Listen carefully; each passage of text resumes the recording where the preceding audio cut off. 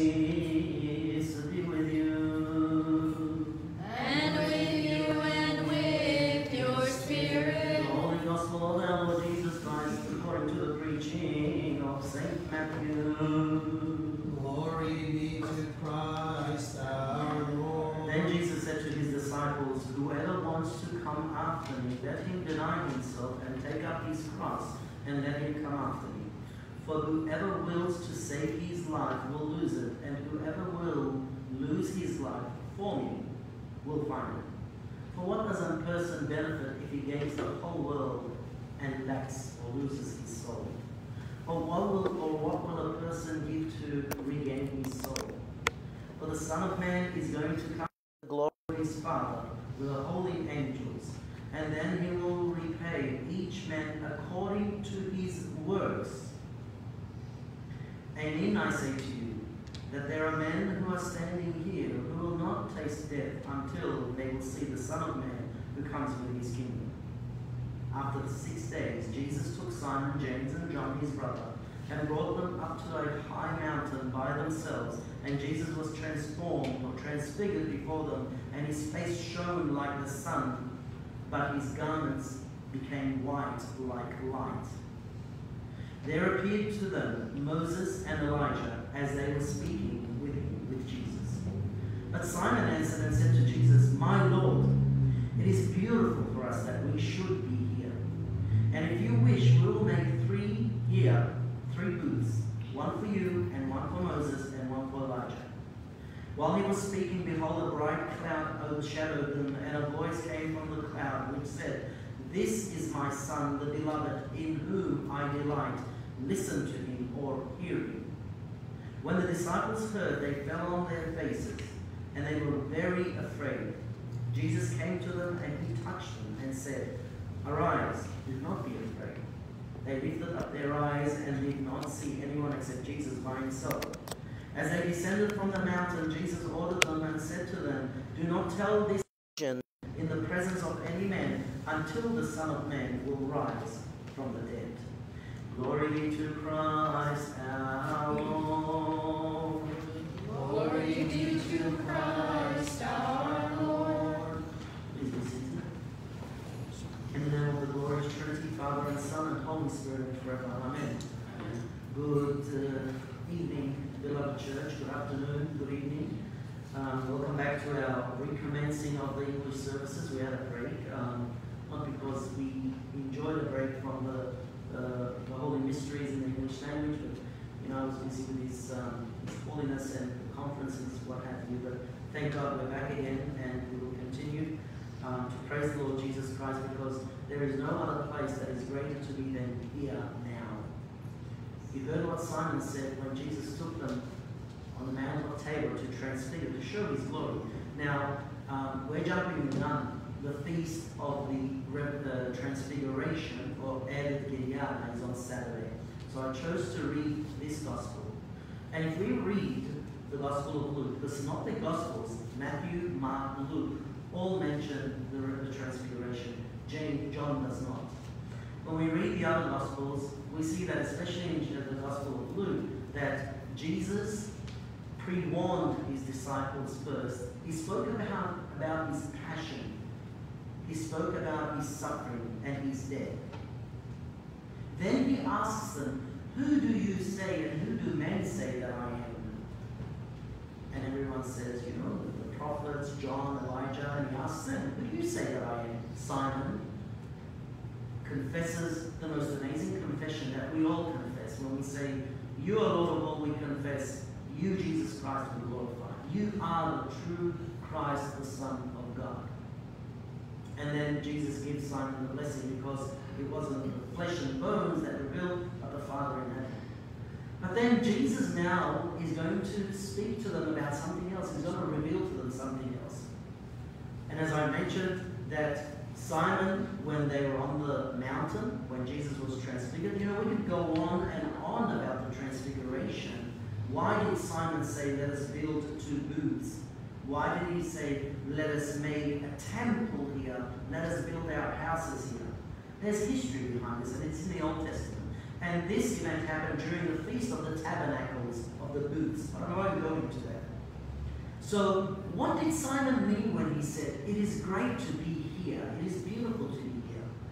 The view, the elevation, being in solitude, away from the hustle and bustle of the crowd? No. What Simon was saying is that it is great to be here because we feel.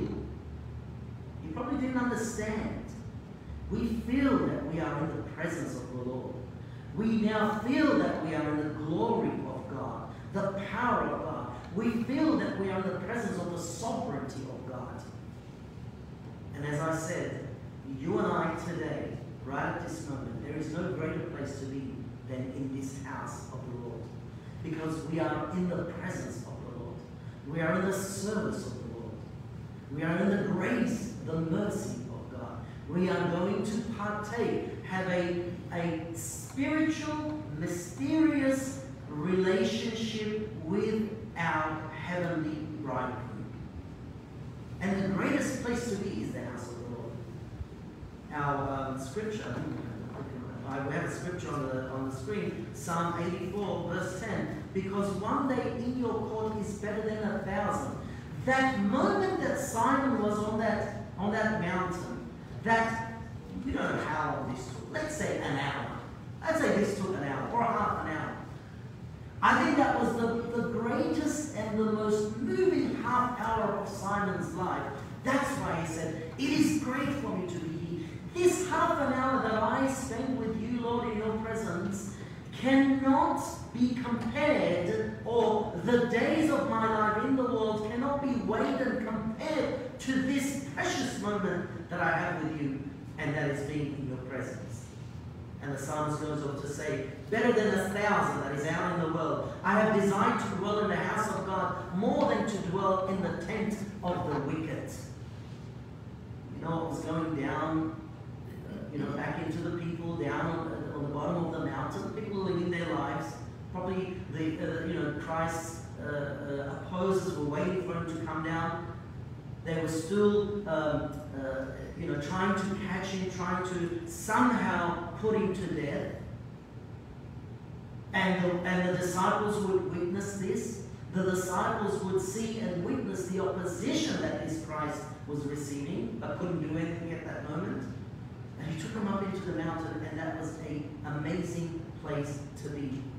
Now, before this, Jesus talks about this Christ, this Son of Man, is going to die, he's going to be beaten, battered, he's going to be spat And as I said in Luke, he predicts his death, but so that his disciples and you and I would not be left with that image of only the passion of Jesus Christ. Just imagine there was no uh, transfiguration. Just imagine Jesus didn't fulfill any, any uh, uh, didn't come, uh, work any miracles. You just imagine that Christ came and preached and died and that's it. It would be very difficult for the church to preach that this Jesus is God, is glorious. But God, Christ has not left no I's undotted and no T's uncrossed for you and I. We have been overwhelmed with testimonies that Jesus wasn't just a mere prophet, a mere poor man who was again always opposed and always always showed that, that he is he is, is nothing what, uh, according to what he's saying to be. He shows them, he takes them up to, into the mountain and shows them the glory of the Father. He didn't just take them up there and say, I'm going to show you something. Look, this is where I was before the world was created. No. He showed them the glory of the Father, which is His. He showed the disciples, He showed us that this is truly the same God with the same glory and splendor as St. Paul writes in the um, next verse. And He, Jesus Christ, is the radiance of His, that is the Father's glory, and the exact representation of His nature. So, right at that moment, the disciples have been probably thinking, Whoa, this is what we follow. Great. That's why Simon is so moved to say, I want to stay here, Lord. I want to stay here. I don't know what's going on. I just feel this. There's something more about you. Yes, we were amazed, were mesmerized by, by your words and your and your deeds and your miracles and your love and your compassion and your healing. But right now it's amazing, Lord. I cannot describe, what it's amazing. We say to in one of the Vespers prayers, we conclude and we say, Glory to you, Jesus, our conquering King, the brightness of the eternal Father. So Jesus says he's going to be killed, murdered. Then he shows his glory. Look at what happens immediately after that. Simon says, uh, Simon says, we want to save here. But everything is then concluded. Jesus touches them and says, no. The Trinity was evident there. The Father was speaking, the Son was being transfigured, and the cloud representing the Holy Spirit. But Jesus touched and says, No, son, we need to go back down again. We need to serve. I need to die. I showed you this so that you are not discouraged and you don't give up. That you always remember that I am the King of Kings who was born. I am the Messiah and the sacrificial lamb who was killed. I am the conqueror of death through my resurrection. I have will return back to the glory that I emptied myself from, St. Paul says, and came down and took this image for you and for the entire world. I will return back to my glory and I will one day return to take you all into that same glory. The transfiguration, beloved, we each have a personal feast that we celebrate. Our Pentecost is when we are baptized, we receive the Holy Spirit. Our transfiguration is when we change our mind. Do not conform to the patterns of these worlds, uh, of this world, St. says, but be renewed with the changing of your mind. Transfigure your mind, your life, so that you may also have a part in the glory. And we do. One of the church fathers writes that God created man to be divine, to have a part in, in, in his divinity through grace. Jesus had the same divinity through his nature. You and I, which we take for so granted. We don't spend time to, to meditate and to ponder on this. That we are not only the children of God, we not only have a, a part and participation in the birth, death, and we will have participation in the resurrection of our God, but we have a part, we are joined with God through divinity. We have the Holy Spirit. Which Jesus says, do not be afraid. You have that great power. Nothing can conquer you. And on that mountain, Christ revealed himself so that he will give us an everlasting encouragement and hope that we do not worship a mere person. We do not worship a mere human being or a prophet. We do not only worship a good person. We worship the Son of God, the Christ, the true Son of God, the incarnated God, the God that incarnate, who is resurrected and one day will return. And I emphasize, beloved, for those who you claim faith, no, just believe, just believe. There is nothing further from the truth and blasphemy because it's against the Holy Scriptures. Jesus himself, not St. Paul, St. Paul mentions it. Actually, the Gospels, the, the Scriptures are so echoing this in Psalms, in Proverbs, in the Gospel, and in the Pauline letters. Jesus himself says that the Son of, this is my, uh, sorry, that every man, when the Lord, when the Son of Man returns in the glory of his Father with the holy angels, and he will repay each man according to his works. Judgment is according to works, beloved, works. Just to claim you believe in God is not enough. Without faith, it's only routine. Faith and deeds. We believe in this Lord Jesus Christ, and we must obey. He who hears my words and fulfills them, Jesus likens to the wise man who built his house, his salvation upon the rock. Glory, praise, and honor be to Christ our Lord, now and at all times and forever. Amen.